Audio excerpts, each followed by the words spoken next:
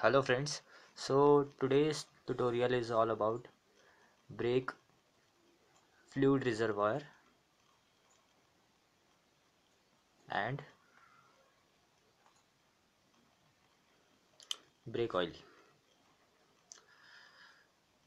So in the last tutorial we discussed about master cylinder the main working and types of master cylinder which we use in braking system.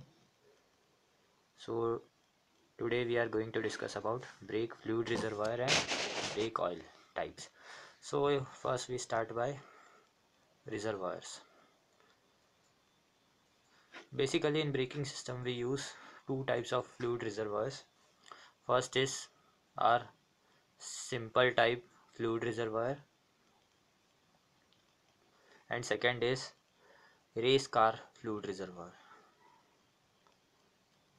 in simple type fluid reservoir it is a large reservoir large in size and uh, then uh, its outer surface is translucent. Translucent means uh, you are able to see the level of oil from outside also. That's why it is made translucent translucent. Then uh, these type of simple fluid reservoir actually this is the property of a fluid reservoir only it should not allow any contaminant. It doesn't allow any contaminant from entering inside the reservoir. From entering. Okay? So these are some features of simple fluid reservoir. If we talk about the race car fluid reservoirs these are also large size reservoirs. It uses large size reservoirs. Then uh, it uses in racing cars uh, remote reservoirs are also used.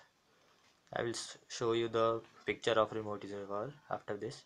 Then uh, in racing cars some metallic reservoirs are also also used for protection purpose and mounting purpose mounting purpose also because mounting a metallic reservoir is somewhat easier. And mounting purpose. Okay. Then uh, there is one more property of uh, race car reservoir that it uses a rubber diaphragm. It uses a rubber diaphragm sort of a thing. So that uh, this rubber diaphragm is present actually under a cap that isolates this reservoir from the atmosphere. That isolates it from atmosphere. So these are some main features of race car reservoir. First is it is large in size. Then it uses remote reservoir also. Race cars uses remote reservoirs also. Then uh, Metallic reservoirs are also used in race cars and rubber diaphragm is present under a cap that isolates it from atmosphere. Now we can see some photos also. These are this is actually a translucent reservoir, remote reservoir. Uh, it might not be clearly visible. Now you can see this is a translucent fluid reservoir.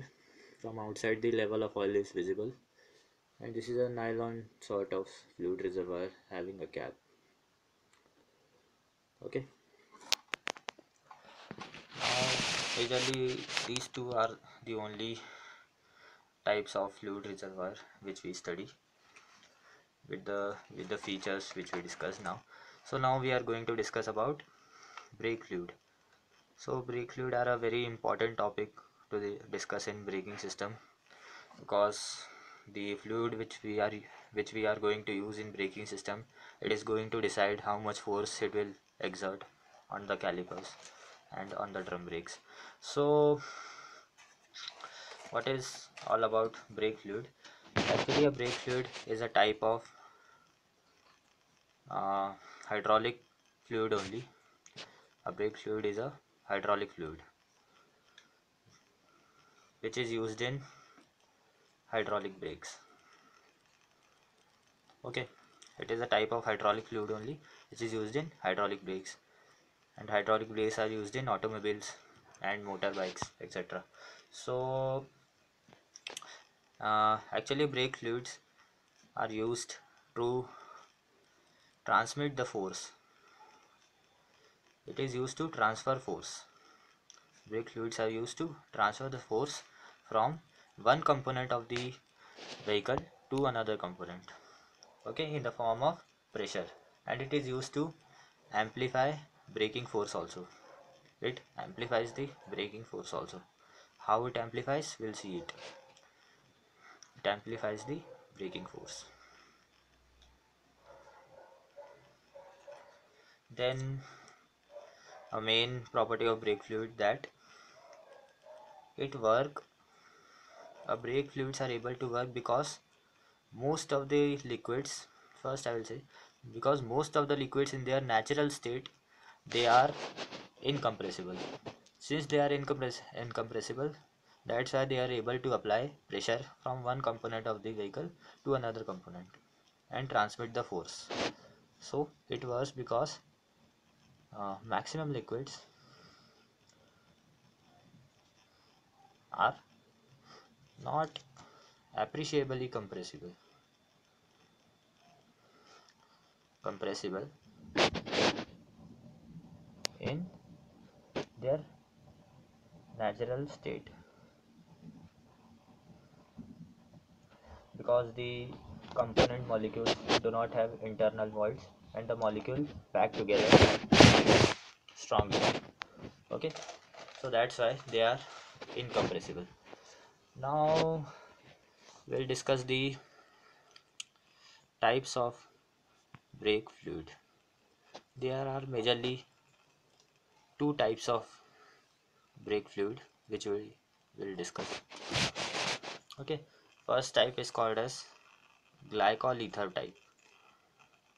Glycol ether based brake fluid. And second type is called as mineral oil based mineral oil based so we'll see the differences between these. First is glycol oil based is hygroscopic in, in nature. Hygroscopic means it absorbs moisture. It have a tendency to absorb moisture. And mineral oil based is non-hygroscopic in nature. Non-hygroscopic. Glycol ether based is less compre less compressible and mineral oil based is more compressible as compared to glycol oil.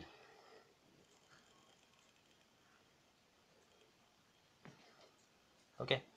Some of the examples of glycol ether based are your dot 3 oil 4 5.1 etc and some of the examples of mineral oil based are dot 5 silicon based etc also mineral oil based are hydrophobic.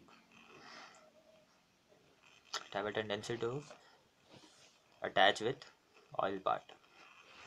Okay it is non hygroscopic does not attach with water